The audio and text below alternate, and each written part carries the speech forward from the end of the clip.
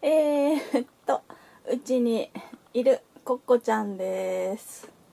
えー、もうね、発情が2回来てるんで、ママさんにどうかなと思ったら、まあ今日は初めてでびっくりして逃げ回ってましたね。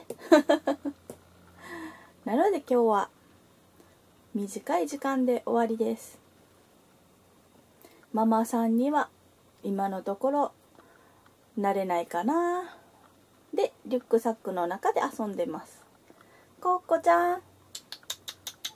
その中がいいの？どこがいいの？コッコちゃん。気に入った？そこ。